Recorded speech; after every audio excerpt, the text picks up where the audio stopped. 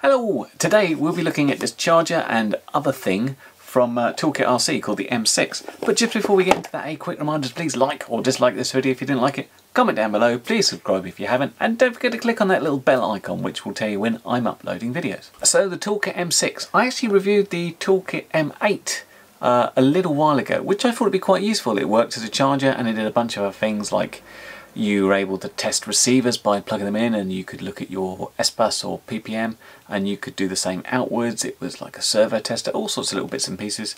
I thought it was quite reasonable as you sort of paid for a charger and then got a few bits more. The M6 is a slightly cheaper cut down version of it uh, and it comes in a bit cheaper which is not bad although it seems to have a colour screen. So what do you get in the box? Well you get the little unit itself, which is tiddly tiny. It's got um, input here on XT60. It's got um, a servo input. It's got um, 5 volt 2.1 amp USB output. Uh, and then it's got output there for your charger and it's got your balance leads to go in there. It's got, instead of the little jog wheel the last one had, it's got these little sort of touch button type things. That's the main unit. It's got these little legs to come out as well, which is quite handy. So it's not just flat and that allows the fan to spin get rid of some weight. Also in the box is this little thing which contains a sort of USB to USB lead. I, I, guess that works as a sort of lead extension. And a, a very brief manual, which looks like this. Uh, this is one of these things that I can't really show much unless we get a close-up. So let's do that now and we'll run through what it can do. Okay, so let's run through some of the features and what this thing can do. Uh, for the purpose of this video, I'm just going to power it using this battery. Obviously, you'd be using something a bit heftier, like um, a decent power supply. This one will do, uh, what is it, 25 amps. This will pump out a max of 10 amps charge. So, depending on what you want to charge, you, you might want something like at least 5 amps to uh, power this from.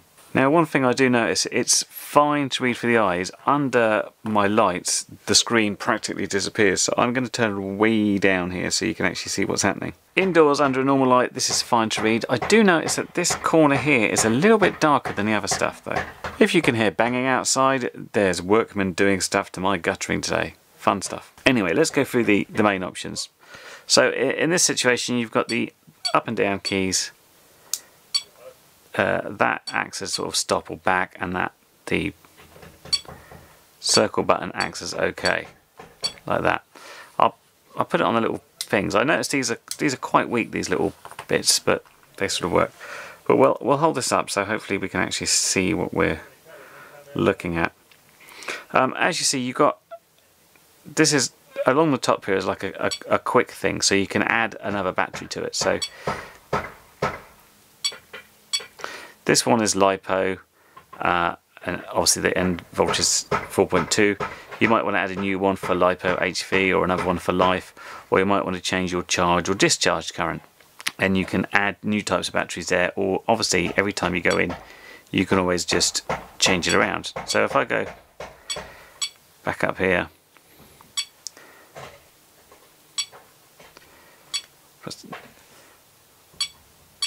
small fingers are best. If I press there, I can cycle through high voltage, life, Lion, NIMH, PB, and uh, obviously back to LiPo there. I can also, it, it sets itself to work out how many cells there are by working out if it's got voltage coming into the balance port there and then you can change your charge current all the way up to 10 amps and your discharge current. Now the discharge thing is kind of interesting. It says it can do up to 2 amps internally or 8 amps in what it calls recycling mode. Now normally uh, that is power comes from the battery and back out. So you'd kind of be looking at a big battery here which you are sort of sucking a power straight from it uh, and into this battery. I d I don't think you can do it if you're on mains power. The uh, I haven't really looked at that in all honesty, because I, I figured if you were wanting to do serious amounts of discharging, there are better tools than something kind of simple like this. And obviously what you do is you just plug in a battery like this one.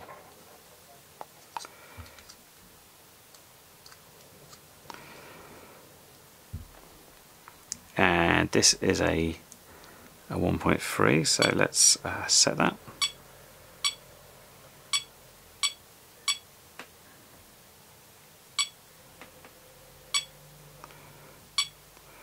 and you can charge, discharge or storage charge. And I just start charging that. It uh, checks that I did want a 4S battery and as you can see here the charging indication is not bad.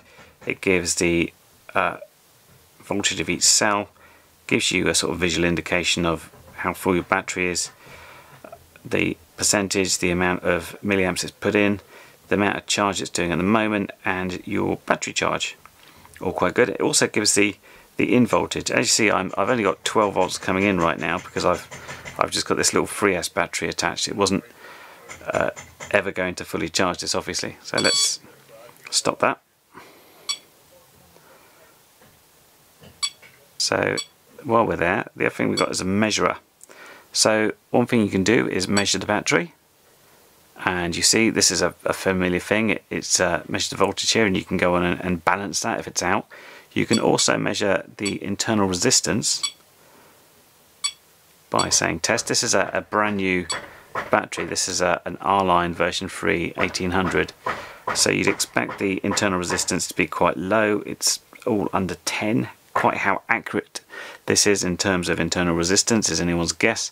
But I normally use this as a, this is how it starts and if it gets worse, if I check it every now and then I can check if the battery's aging or how it's aging. So the other things it can test is, is PWM. That's pretty good if you've got an individual um, servo connection from a receiver. I can't believe the amount of noise that's going on outside now, but here you go. Uh, PPM, if you've got a PPM receiver, that'd be useful to test. And uh, S-Bus here, and I've, I've got an S-Bus receiver here I can use. I thought I'd test it with this. So the place to connect receivers or servos or whatever is here. So let's plug that in. What I've also got is this quad which has a, an X4R on it so I'm just going to replace that little port which is the S-Bus with this one. If we now go into measurer and say we want to measure S-Bus we've got nothing going on because what's happening at the moment is I haven't connected well I haven't turned on my radio so let's turn on my radio see if we can get something happening. Right and having turned on my radio here which is hooked up I've got all my all my normal stick movements. If I got the mode switches that all seems to work quite well.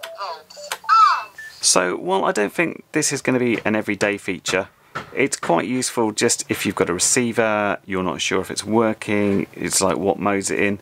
You can test it out there, you can test individual channels of a receiver with PWM, um, and if you're in PPM, obviously you can do that too.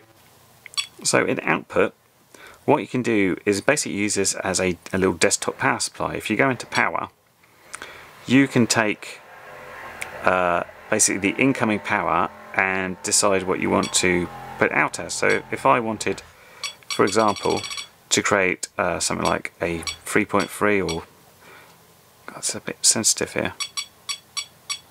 Let's say a 5 volt power output.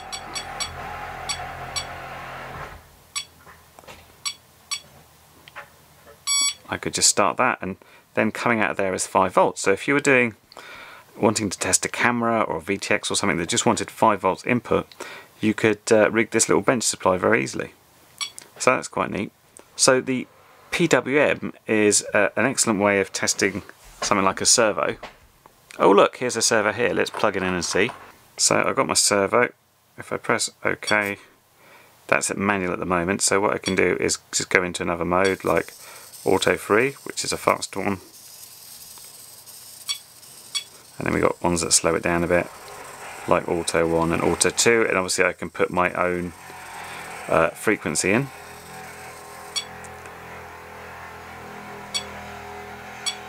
Just by going down here holding down a button you can see the servo move. All pretty good. Things like PWM and S-Bus bus slightly less useful. You'd have to go here and basically this would put this whole thing out and then what you can do is you can say, okay, I want channel 2 outputting, let's say, another figure like that and then that will go out of the S-Bus. I can't see many options where you'd want to use that. Perhaps if you were doing something and you hadn't got a receiver to rig it up yet, you'd want to sort of find out things, but slightly less useful, I guess. Uh, and then finally, you've got settings, which I should have gone in earlier because then I could have said, hey, I should turn off those beeps, which is probably annoying everybody by now. Uh, and you've got a whole bunch of settings in there which you can see.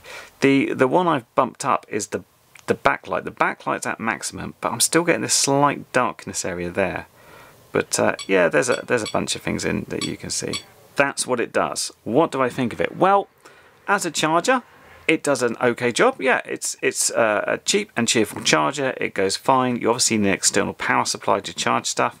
I like it that it can do multiple battery types, including high voltage, which um, is important.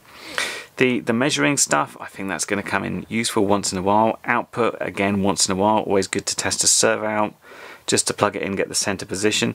So it's kind of like, it's cheap enough to say those bits are for free. You won't use it a lot, but when it's there, it's quite handy. So the, the downsides I found, you may have noticed it, it's a little bit sensitive and sometimes you don't hit the right bit when you're trying to press these things. The previous one had a little jog wheel, which was much better, but it is more expensive, but you know, it, it can also charge at a high rate. But as is, this is quite an interesting little thing. It's quite a good little proposition. If you're just getting into the hobby, if you want some small and uh, cheap little charger, then this is not bad at all. As you can see there, it will do a 2 to 6S battery uh, it'll do up to 10 amps uh, and obviously you can balance charge, storage charge and discharge using this. So there you go, this is the Toolkit RC M6. Um, I'll link as well to the M8 because that was quite an interesting one as well. Um, I hope this review's been useful to you. I do apologise about the noisy workmen outside making noise. Until next time, have a good one. I'll see you later. Bye for now. Well, you've made it to the end of the video, so thanks once again for watching. If you like what you saw, then please consider subscribing, and if you really like what you saw, then be sure to check out the link to my blog for a variety of ways in which you can help support this channel.